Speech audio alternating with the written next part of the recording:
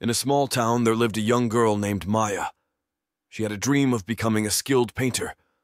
Maya spent countless hours perfecting her art, painting landscapes and vibrant portraits. One day, she decided to enter a prestigious art competition. Excited and hopeful, Maya submitted her best painting, but she only to face rejection.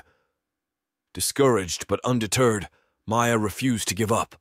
Determined to succeed, she continued painting, experimenting with new techniques and styles. Months passed, and she submitted her work to another competition. Again, she faced rejection.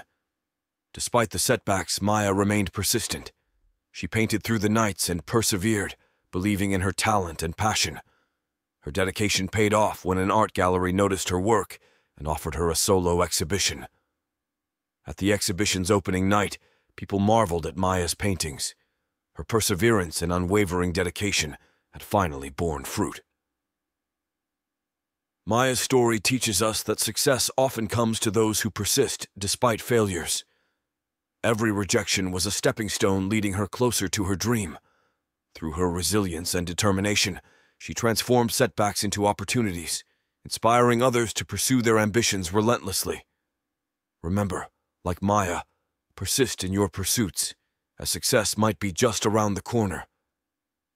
My dear friends, keep trying even when things don't work out. Success comes to those who don't give up and keep going despite facing difficulties. Every setback is a chance to learn and get closer to your dreams.